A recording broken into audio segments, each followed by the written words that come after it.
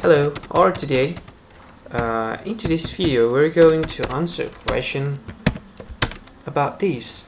How many feet are in a mile? Okay, to solve this problem I've provided you with the answer. Here's the answer.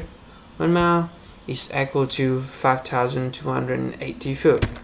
Well, um, let's create question and answer. For example, I want to convert I want to know how many foot do I have in 10 mile? 10 mile equal is equal to uh, how many foot? Okay.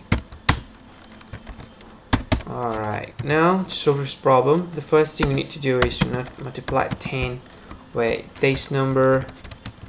Okay.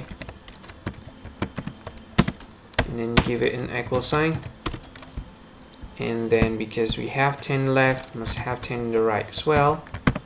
And then we multiply it with this number. Okay that's to be. Yeah I think that's enough. Yeah that's good.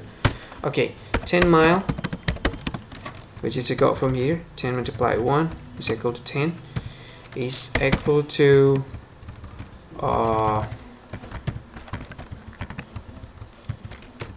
equal to yeah uh, 52,800 foot.